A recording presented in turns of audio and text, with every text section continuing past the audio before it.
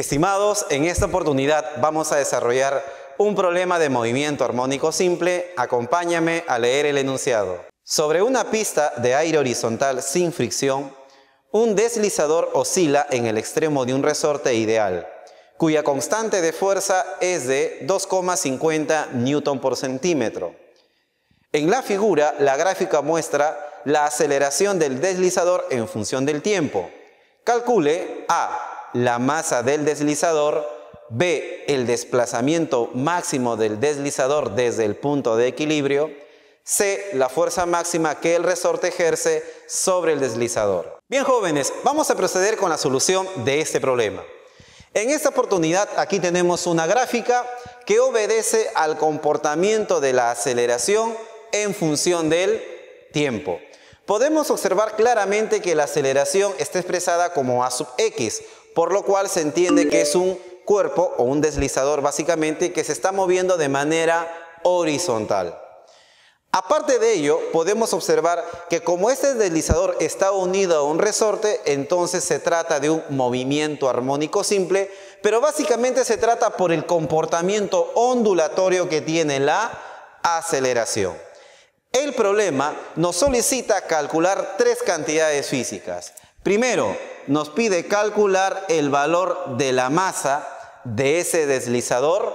Segundo, el valor del desplazamiento máximo que tiene dicho deslizador medido desde el punto de equilibrio.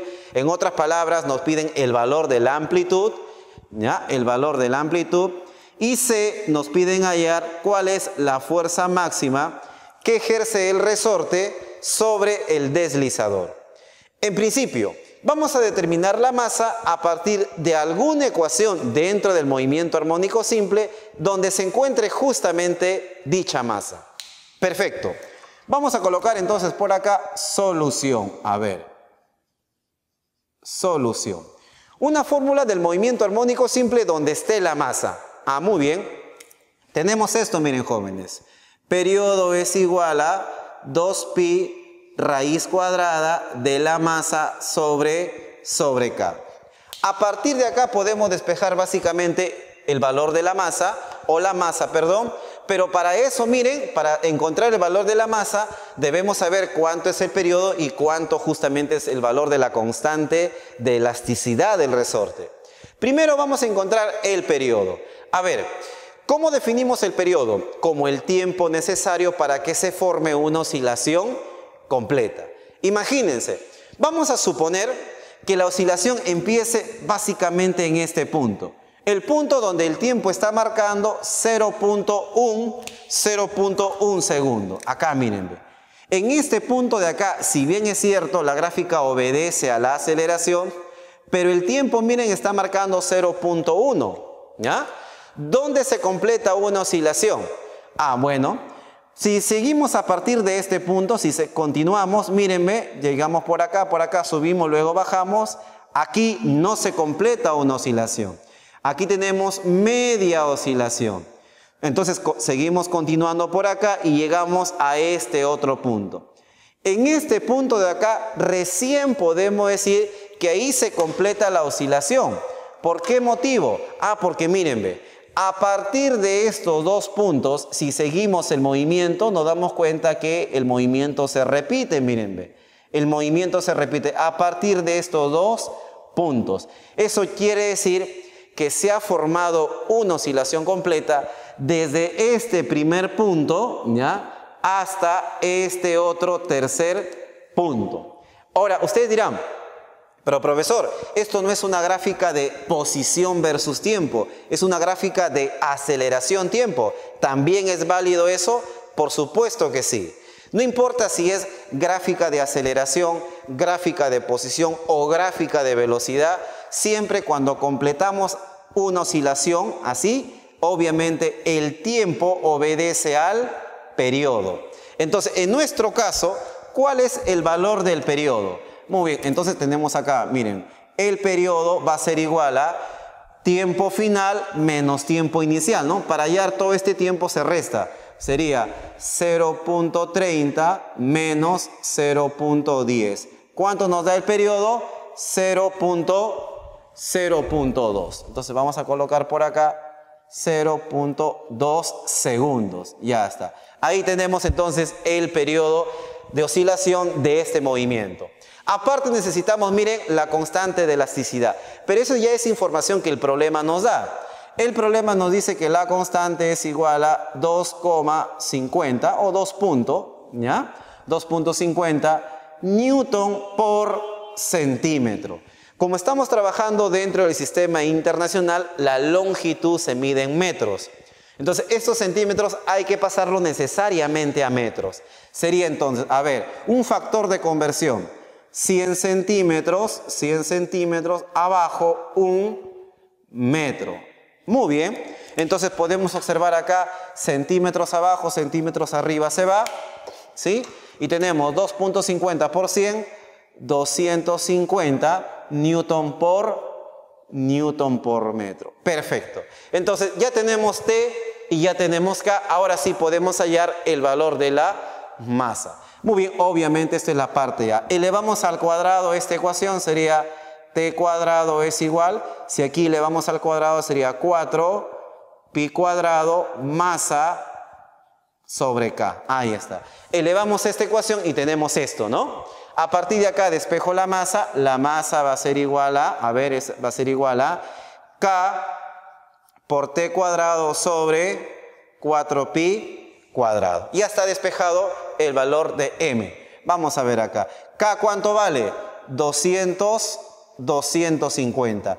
T, aquí está 0,20 al cuadrado sobre 4pi cuadrado. Tengan presente, jóvenes, como que estoy eh, reemplazando K y el periodo dentro del sistema internacional, entonces obviamente la masa también nos sale en el sistema internacional. Y eso es kilogramos. Si hacemos el cálculo acá, este, el valor de la masa nos da 0,253 kilogramos. Ya está, ya tenemos el valor de la, de la masa. Ahora vamos a calcular el valor de justamente la amplitud. Bueno, para eso primero vamos a utilizar una ecuación que obedece a la ecuación de posición. Recuerden ustedes, a ver jóvenes, ecuación de posición. A ver, x de t, ¿sí? O x nada más, vamos a colocarlo acá. La ecuación de posición podría ser expresada de la siguiente manera. A coseno de omega t más más phi. Eso, como sabemos, es la ecuación de posición de un deslizador, obviamente si es que tiene movimiento armónico simple. Y es nuestro caso, por supuesto. Si queremos hallar la expresión de la velocidad, no se hace otra cosa más que derivar. Es decir, si derivamos la posición, obviamente obtenemos la velocidad. ¿Correcto? Muy bien, derivemos esto entonces. Ojo, ya derivé la posición y como resultado tengo la velocidad. Ahora vamos a derivar esta parte de acá. Obviamente como este es constante, como la amplitud es constante, se mantiene el valor de la constante adelante. La derivada del coseno, como sabemos eso es menos seno, obviamente del mismo argumento, ¿sí? Ahí está, ahí está. Ahora, por la regla de la cadena, no solamente se deriva la función que ya tenemos acá, que es menos seno, sino también se deriva el argumento. Si derivamos el argumento, acá, mírenme, este phi es constante, se va, y aquí la variable es el tiempo. Si tenemos omega tiempo y lo derivo esto, obviamente vamos a tener omega. ¿Sí? Vamos a tener omega. Bien, eso quiere decir que la velocidad va a ser igual a qué? A menos a por omega seno de omega t más phi ya tenemos la expresión para hallar la velocidad. Si derivamos una vez más, tenemos ahora la aceleración. Si derivamos, obviamente tenemos la expresión de la aceleración. En este caso, menos a omega es constante, así que mantenemos menos a omega. La derivada del seno, muy bien, vamos a colocar por acá, sabemos que es coseno positivo, ¿no? Muy bien, mantenemos el mismo argumento, Ahí está, omega t más phi. Pero ahora por la regla de la cadena, obviamente derivamos el argumento acá. Multiplicamos por la derivada del argumento, que al igual que en el caso de acá, nos va a dar omega.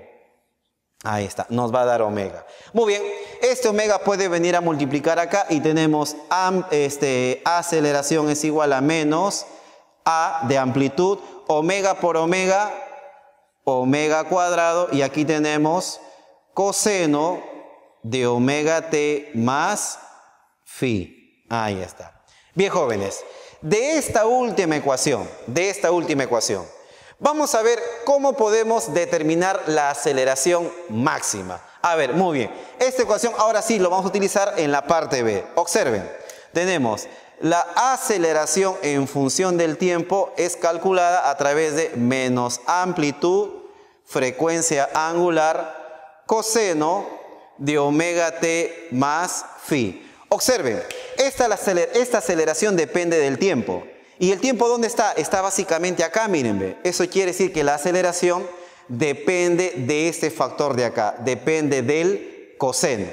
¿Correcto? Muy bien. ¿Cuál es el máximo valor que puede asumir la aceleración? Perfecto. El máximo valor que puede asumir la aceleración es cuando este coseno se hace, miren, menos 1. ¿Sí?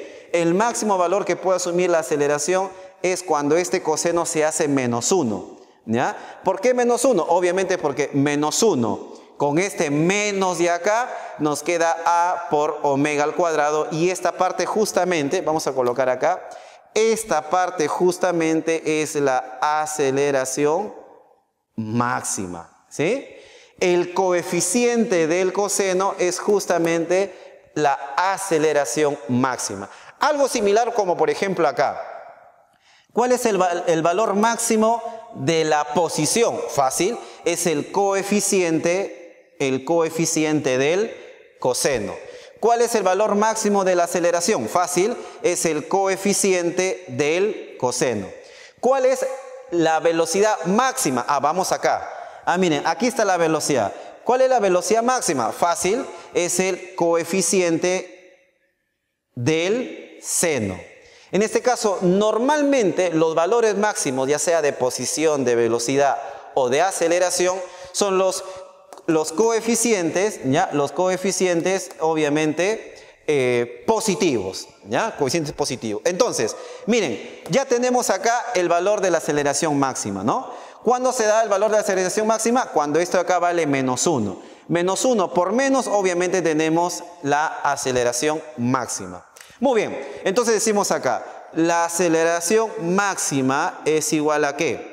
a la amplitud por la frecuencia angular. Profesor, no tenemos la frecuencia angular, ni tampoco la aceleración máxima. Sí lo tenemos, miren jóvenes, sí lo tenemos. A ver, observen. La aceleración máxima lo podemos ubicar básicamente del gráfico. Miren, ve, el valor máximo de la aceleración se da justamente acá, ve. Estos son los picos. ¿Y cuánto vale? 12 metros por segundo. Ah, muy bien la aceleración máxima es 12 metros por segundo. Muy bien, pero no tenemos la frecuencia angular. Sí lo tenemos, no explícitamente, pero sí lo podemos determinar. Como tenemos el valor del periodo, recuerden que la frecuencia angular es 2pi sobre periodo, podemos hallar justamente la frecuencia angular. 2pi sobre, a ver, periodo, periodo ¿cuánto vale? 0,2, ahí está, 0,2. Si dividimos, la frecuencia angular nos da 10 eh, pi, 10 pi radianes por segundo. Miren entonces, la frecuencia, perdón, la aceleración máxima es 12 metros por segundo cuadrado y la frecuencia angular es 10 pi radianes por segundo. De aquí despejamos lo que queremos, la amplitud. perdón. La amplitud entonces tenemos acá es igual a aceleración máxima sobre la frecuencia angular. ¿Cuánto es la aceleración máxima? Aquí está, 12. Ojo que está en metros, ¿ah? Metros por segundo cuadrado. Y la frecuencia angular es 10 pi. 10 pi elevado al cuadrado. Si hacen el cálculo, la amplitud le sale 0,0122 metros. Bien, ahí tenemos entonces la amplitud de este movimiento. Ahora vamos a la parte a la parte C. En la parte C nos piden hallar la fuerza máxima que ejerce el resorte sobre el deslizador.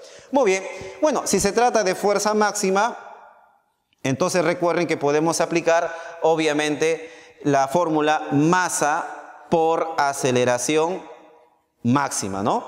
Fuerza es igual a masa por aceleración. Si piden la fuerza máxima, obviamente utilizo la aceleración máxima. Obviamente, ¿cuánto es la masa? Ya lo tenemos por acá. 0,253, ¿sí? Y la aceleración máxima es 12, ¿no? Es 12. Si multiplicamos, tenemos acá, tenemos que la fuerza máxima, ¿ya? Si multiplicamos, tenemos que la fuerza máxima es 3,04 newton. Y ahí tenemos entonces las tres respuestas que obedecen a este, a este problema. Bien jóvenes, ha sido un problema bastante interesante, espero que me hayan comprendido. Nos vemos en un siguiente video. Gracias.